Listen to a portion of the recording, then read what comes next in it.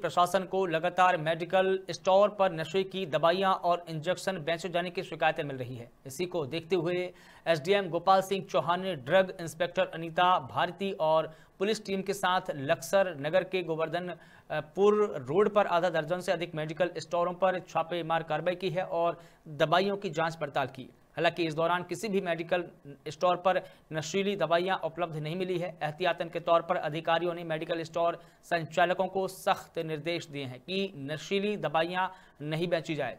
साथ ही डॉक्टर के परामर्श के बिना कोई भी दवाइयाँ नहीं बेचें। वहीं अधिकारियों का कहना है कि नशाखोरी के खिलाफ में छापामार अभियान लगातार जारी रहेगा। खानपुर से सुशील कुमार झा की रिपोर्ट।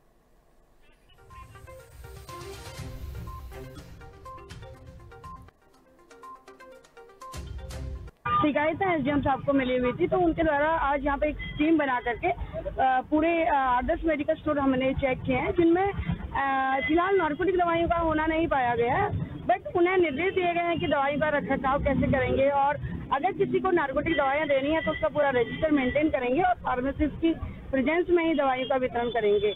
नशे की जो दवाइयाँ हैं, वो मेडिकल स्टोर में बिक रही हैं तो उसी के तहत आज ड्रग इंस्पेक्टर को बुलाया था और एक ज्वाइंट हम लोगों ने निरीक्षण किए हैं और करीब आठ दस जो मेडिकल स्टोर है, उसमें हमने छापेमारी की है।